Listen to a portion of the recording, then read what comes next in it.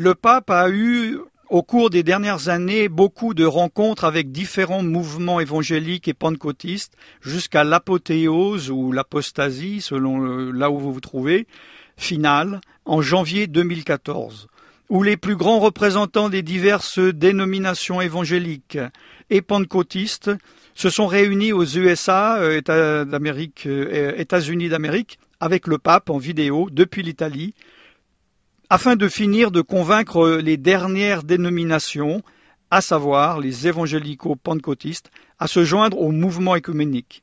Cette rencontre est historique et a pu être organisée grâce au bishop Tony Palmer, ami du pape, avant même qu'il devienne pape, a été l'instrument puissant de cette alliance qui a scellé l'écuménisme chrétien. Janvier 2014, c'est la date du dernier train des retardataires, les évangéliques qui n'étaient pas encore rentrés, qui étaient les derniers à rentrer dans le mouvement écuménique.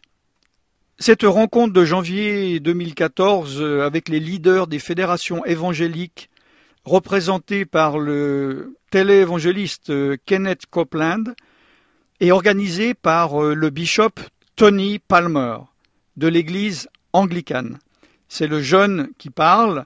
Euh, je précise cela car euh, il est habillé, il a, a comme la robe euh, du prêtre, parce qu'il y a plusieurs dénominations dans le protestantisme qui ont gardé ces apparats, mais c'est bien un protestant de l'église anglicane.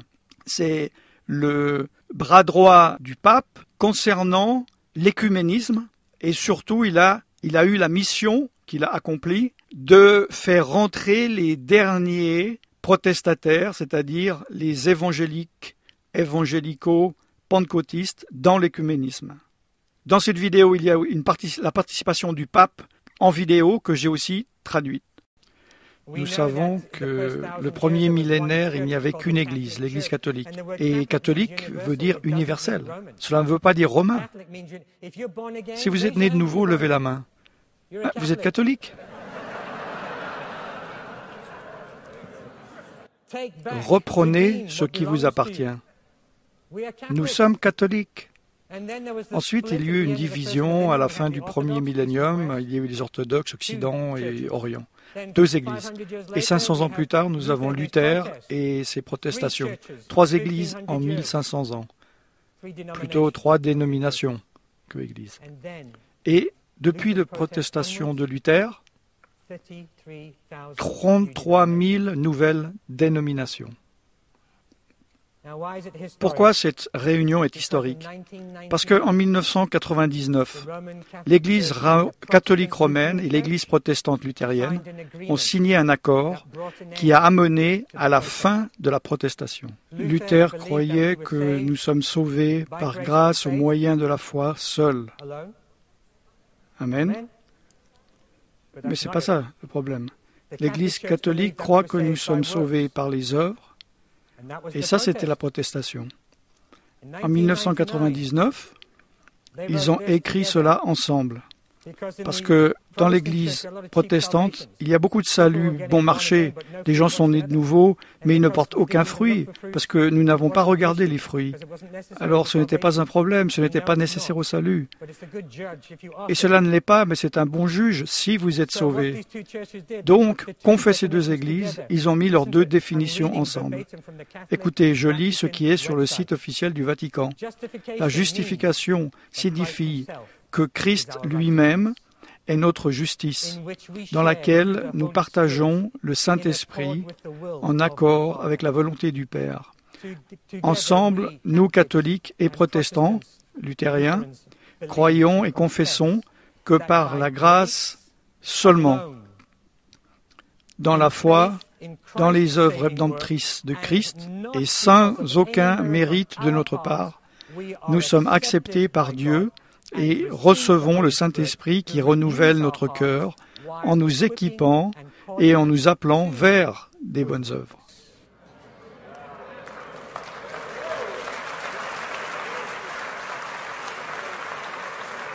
Ceci aboutit à la fin de la protestation de Luther.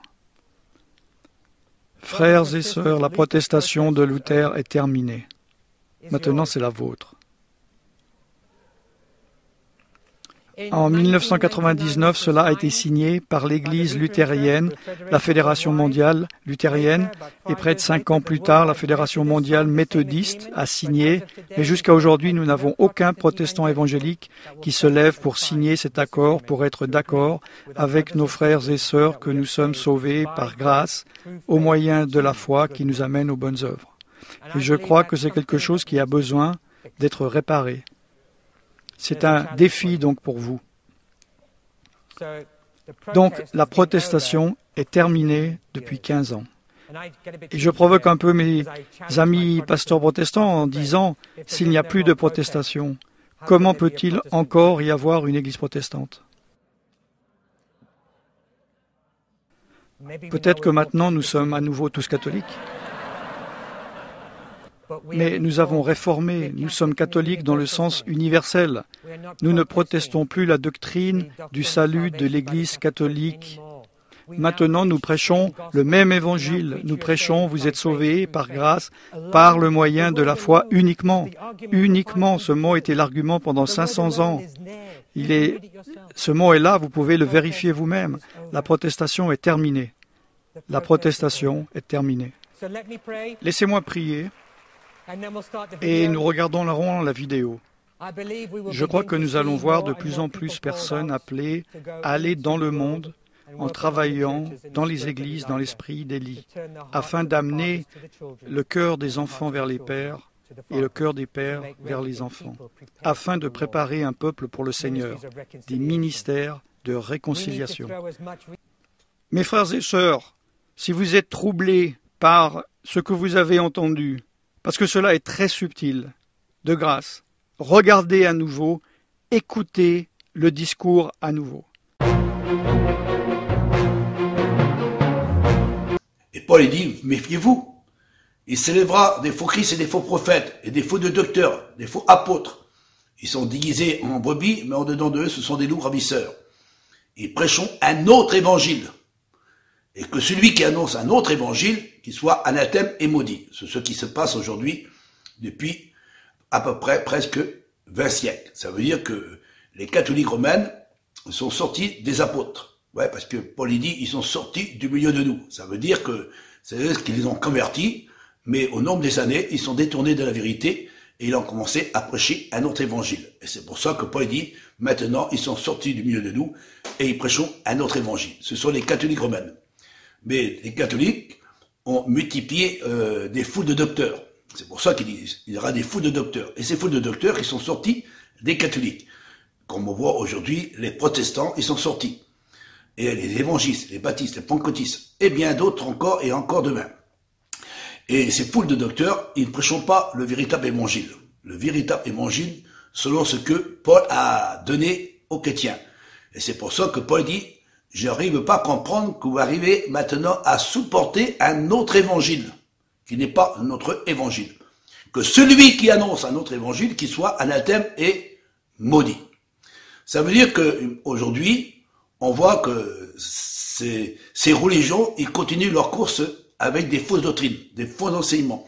Ils tournent dans les Écritures, ils déforment les Écritures. C'est universelles. C'est pour ça que la Bible dit, euh, la Babylone, la prostituée, elle, qui a enfanté et qui va rassembler euh, tous ses enfants. Tout ce qui a été enfanté par elle, elle va les rassembler. On le voit aujourd'hui que beaucoup d'églises sont attachées à la charte. Comme Villemière est attaché à la charte. Euh, vous voulez ou voulez pas, euh, pouvez vous renseigner. Vous êtes attaché à la charte. Vous êtes entré à l'intérieur de la prostituée la Babylone, la prostituée, celle qu'elle a enfantée, elle vous a enfanté, parce que vous êtes sortis, vous les protestants, vous étiez des catholiques autrefois. Et maintenant, vous prêchez soi-disant un évangile protestant, parce que vous avez protesté contre les catholiques, mais malheureusement, aujourd'hui, vous retournez vers la mer. Vous retournez vers la mer.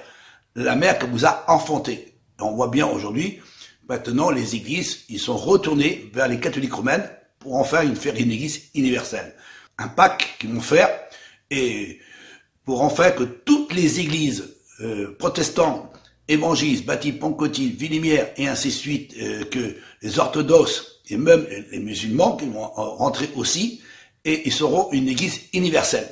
Et ce sera une seule église et on doit obéir à cette mère qu'elle a enfantée de toutes ces églises. Et tous les hommes de Dieu dans l'Ancien Testament, ils en parlent. Ézéchiel et Daniel, ils en parlent. Et ainsi que Isaïe, et ainsi que tous les prophètes dans l'Ancien Testament, ils en parlent, cette grande Babylone.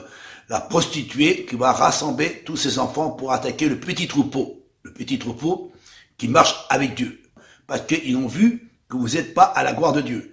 Et vous voulez les persécuter, le petit troupeau de Dieu. J'ai organisé un événement mondial, une occasion de dialogue entre les religions, un village universel. De ce village doit naître une convergence globale pour une alliance entre les habitants de la Terre. Il faut trouver d'autres façons de comprendre l'économie, la politique, la croissance, le progrès. Je désire vous rencontrer à Rome pour activer ce pacte. Mes frères et sœurs, ce jour va passer comme une lettre à la poste, alors que prophétiquement, c'est l'activation du pacte. Voilà, je vous ai mis euh, ce vidéo. Je sais que ça dérange la vérité, mais euh, nous sommes là pour vous dire la vérité. Je sais que vous n'êtes pas obligé de croire de ce que je dis, mais je vous donne des preuves. Alors, vous, les, les chrétiens euh, évangéliques, baptistes, pentecôtistes, hein, et ainsi que Vilimière, que je vous ai déjà prévenu à travers de mes vidéos déjà de quelques années, et là, je vous donne des preuves que vous êtes bien attachés à la charte et aussi maintenant vous êtes attachés à ce pacte qui va être signé dans cette année par les communautés de tous du christianisme catholique. Et on voit que que la mère, la Babylone, va rassembler, va rassembler tous ces enfants qui ont été dispersés sur la surface de la terre. Ce sont ceux qui, on les appelle les évangiles, les baptistes, les pentecôtistes, et ainsi de suite. Tout ce christianisme, ils vont se réunir pour en faire une église universelle, selon ce que la Bible nous enseigne dans l'Apocalypse. La Babylone, la prostituée, va rassembler tous ses enfants pour enfin de faire la guerre au petit troupeau qui reste sous la terre. Et sera là que le Christ viendra chercher son Église. Mais on ne peut pas savoir ni le jour ni l'heure, mais nous savons déjà que cette prophétie attend de s'accomplir devant nos yeux.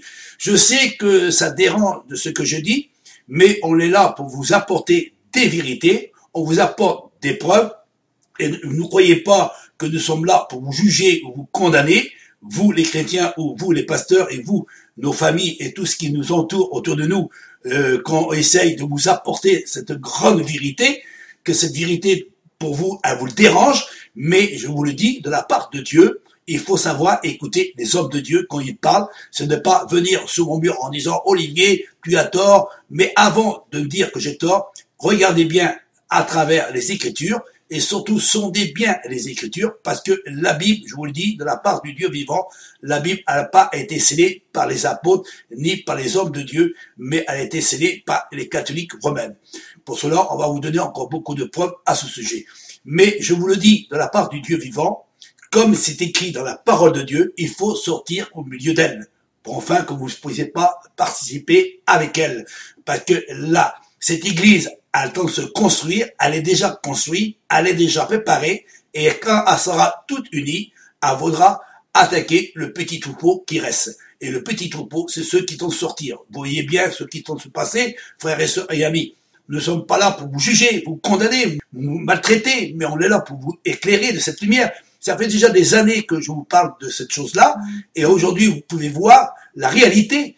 Pourquoi Ça fait des années que j'ai dit sortez du milieu d'elle, sortez du milieu d'elle, vous qui portez les vases de Dieu. Qu'enfin que vous ne puissiez pas participer avec elle. Il faut sortir. Et on voit aujourd'hui que ces églises, ils tendent se réunir. Et Vie Lumière, Vie Lumière est déjà attachée à cette, à cette, à cette Babylone avec cette catholique romaine, parce qu'il faut pas oublier que Martin Luther, c'était un ancien catholique, il est retourné vers sa mère. Comme on dit qu'un chien qui avait vomi retourne vers ce qu'il avait vomi, et retourne en arrière, et de revient qu'en réalité, le protestant revient un catholique. Vous voyez bien écoutez ce que, à travers de ce vidéo, pour bien prouver que nous ne sommes pas là pour vous juger ou condamner ou maltraiter, mais nous sommes là pour vous apporter cette grande lumière. Bon, nos propres yeux, on voit bien que toutes les églises ils se unir les uns aux autres, et même euh, si vous écoutez bien le vidéo, l'homme il dit bien que maintenant euh, tous les églises c'est fait. Ça veut dire que les protestants, les évangiles, les baptistes, les pentecôtistes, toutes ces églises, ça y est, sont tous unis, sont tous rentrés à l'intérieur de la mer. Et ils ont fait une charte, et de la charte sont maintenant sont devenus faire un, pacte et maintenant ils sont liés ensemble, tous réunis ensemble, et tous ces églises-là, ils sont réunis ensemble, et il faudra obéir à leur, euh, à leur commandement, à leur ordonnance, et celui qui ne suivra pas euh, cette église-là, ben, il sera persécuté, jugé, condamné, maltraité, parce que les, chrétiens véritables, ils ne voudront pas suivre cette église. Pourquoi? Parce que cette église, elle n'est pas à la gloire de Dieu. Malheureusement, vous n'avez pas bougé de quoi de ce que j'ai dit, mais nous sommes là pour vous apporter des preuves. Frères et sœurs et amis, discernez et comprenez euh, ce vidéo, euh, mettez-le bien en pratique, regardez-le plusieurs fois parce qu'il est très important euh, de mettre ça en évidence parce que ça joue sur notre salut. Parce que si nous voulons être sauvés, il faut sortir de cette Babylone, de cette église qui n'est pas à la gloire de Dieu. Que Dieu vous bénisse, frères et sœurs.